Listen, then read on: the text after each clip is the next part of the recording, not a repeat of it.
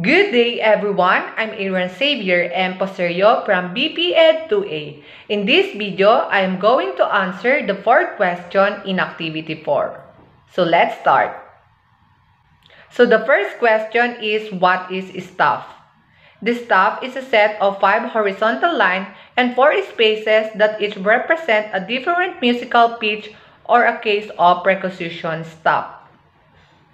So the next question is what is the relationship of ledger lines in the staff?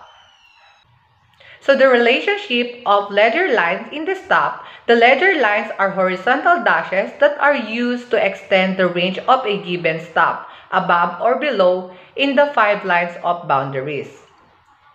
So the third question is, give the difference of staff and grand staff. The staff is a five-line system used to locate pitches, while the grand staff is a system of two five-line staves spanning to complete usable range of pitches with the use of ledger lines.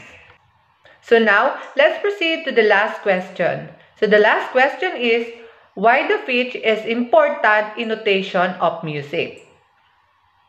So the pitch is very important in notation of music because the pitch is a perceptual property of sound that allows their ordering on a frequency related to the scale or more commonly. The pitch is a quality that makes it possible to judge a sound as a higher or lower in the sense associated with the musical melodies.